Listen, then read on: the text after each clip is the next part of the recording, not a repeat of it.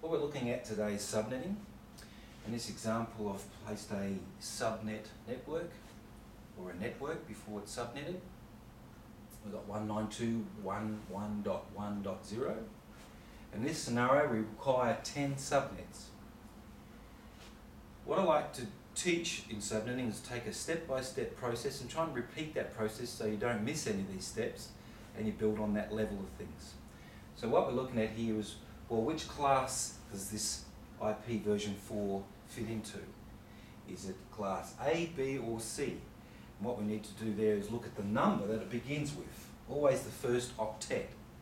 In this case, this number is 192, and if we recall class B, it's always the defining class for me, runs from 128 to 191. That's class B. So I know that A would be below 128, C is above 191. In this case, 192 would therefore belong to C. So we must establish our class, in this case, class C. So we are clear that it's class C. Knowing it's class C, we need to remind ourselves of the structure of class C. If you recall, class C has a structure as follows. It's a network, network, network host structure. So the first three octets make up the network portion by default, always with class C. And what we understand that by that is that if we place a 1 in all positions where there's N's, and there's 8 N's, 8 N's, 8 N's, we would see that we'd have a mask, therefore, of 255 dot 255, oops, dot 255 That dot 0 relates to the last octet where there's no network bits. So that's our structure we're working with. And what we understand from subnetting is we borrow from the host portion, from this portion. So there's eight host bits to borrow from. We can't have all of them, there's always two left behind. No matter what class we subnet in, two bits are always left behind. The next question is, well, how many bits is required to create 10 subnets? There's a quick, sure way method of just using your fingers to work this out. There's also a formula. We might recall the formula as 2 to the number of bits borrowed, take away 2, is the available subnets.